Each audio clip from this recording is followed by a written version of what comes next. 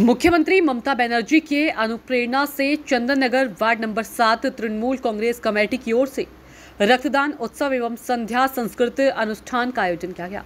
लगभग 100 रक्तदाताओं ने रक्तदान किया। वहीं कमेटी की ओर से माध्यमिक, उच्च माध्यमिक के 60 छात्र छात्राओं को अच्छे मार्क्स लाने पर उपहार स्वरूप पुरस्कार प्रदान कर सम्मानित किया गया।